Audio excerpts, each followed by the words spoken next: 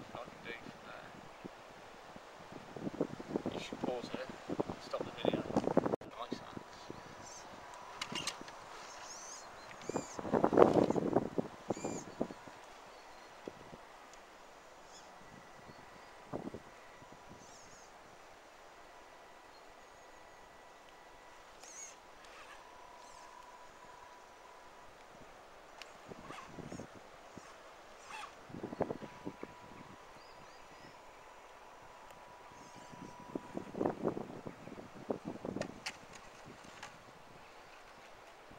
And you go.